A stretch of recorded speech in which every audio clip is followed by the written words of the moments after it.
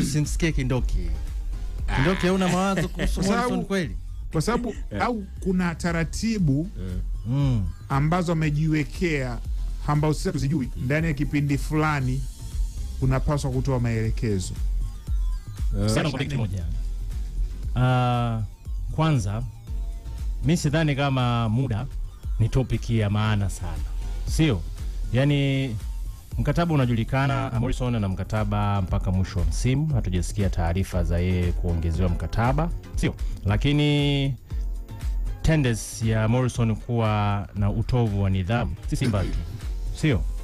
Aa, na wala si kwamba uongozi ndo unafahamu. Hakuna mfuatilia michezo wa Tanzania asiyejua uh, tabia ya Morrison. Huyu ndo mchezaji ambaye alibaki nusu mtupu kwenye mechi ya fainali ya FA Azam, tena akiwa inaonekana kwenye mitandao na teknolojia. Ogopa Mungu na teknolojia, mara nyingi haya mambo huwa yanatokea, lakini go back, kabla hajaenda Simba, Morrison ndiyo ambaye alionekana ana utovu wa nidhamu uliopitiliza ndani ya miezi, miezi mitano tu aliosajiliwa kwenye klabu ya Yanga. Kwa hiyo maisha yake ya nje ya uwanja yanajulikana, lakini nenda nyuma zaidi, AS Vita wanafahamu ubora wake ah, alipokwenda kucheza, lakini pia wanafahamu Kwenye line kuna msikilizaji halo Halo.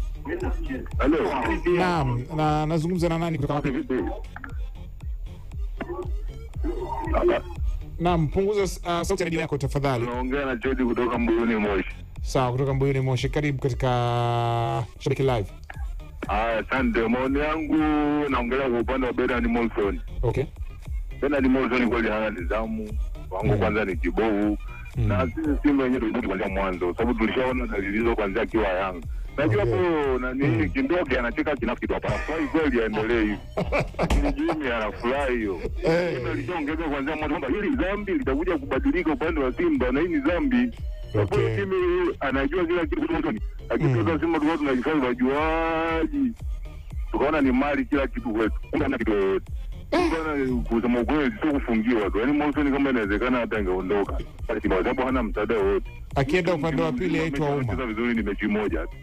Mechi nyingine hata ingia akiingia lazima atoke na kadi, anajifanya kiungo mkabaji.